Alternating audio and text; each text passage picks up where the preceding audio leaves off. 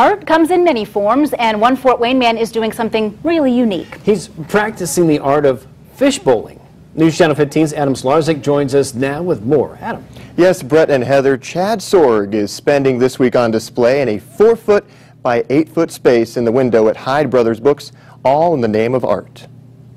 Once in a while, it's just a question like, you know, what's the point of this? And they just maybe don't get it at all. Like, what's the point? And I have to tell them, you have to just tune in. You have to tune in. Um, it's it's more real than a reality show. On a typical day, the aisles of Hyde Brothers books are home to shelves filled with literature and some cats.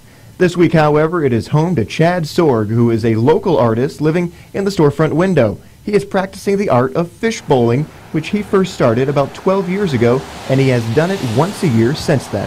We all want to stand out as artists, so instead of just hanging a bunch of paintings, I decided I would be there creating artwork, and I put plexiglass windows up so the visitors could not actually come into the room that they could just kind of see me like an artist's zoo while sitting on display he is working on a large canvas on a piece he calls blue bus during his painting he frequently streams live on facebook for his followers to see and ask questions about his experience in the store when he is not painting he still spends his time being creative on my uh, my downtime while I'm here. Um, the times that I just want to chill out, like when I'm not talking to anybody, I'll read, um, write.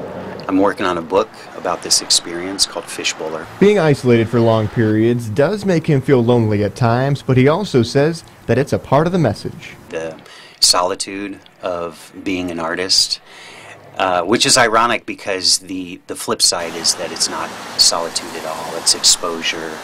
Uh, you, you want the public to know what you're up to. And Sorg will be in the Hyde Brothers Books window until 5 p.m. on Friday. He welcomes visitors to stop by and talk about art, and you can follow his live streams on his Facebook page. We have a link on our website, wane.com. In studio, Adam Solarzik, News Channel 15.